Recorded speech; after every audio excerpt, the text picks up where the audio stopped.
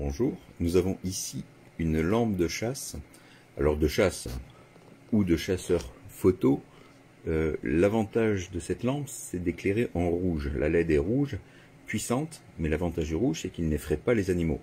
Donc quand vous les approchez pour faire de la photo de nuit, ou pour les chasseurs éventuellement, euh, vous pouvez utiliser cette lampe, très pratique. Pourquoi? Parce que d'abord, elle est multi-configuration. Je vais vous l'expliquer. Vous avez l'ensemble livré dans une mallette étanche,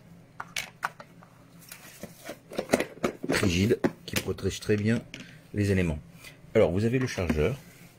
Vous avez deux batteries de type 18650 d'une puissance de 2800 mAh chaque.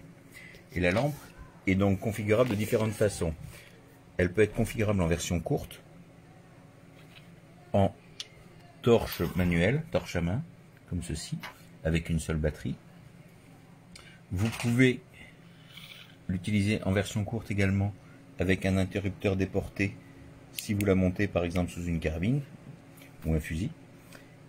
Et vous avez la même, la même configuration mais avec deux batteries pour une puissance augmentée, puissance d'éclairage augmentée, avec donc la même chose, soit en torche manuelle avec sa dragonne, soit avec le contacteur déporté étanche pour montage sous un canon. Pour le montage sous le canon, vous pouvez utiliser celui qui est fourni, qui est très solide d'ailleurs, un peu pesant mais solide, qui peut aller sous du calibre 12 ou sous une carabine.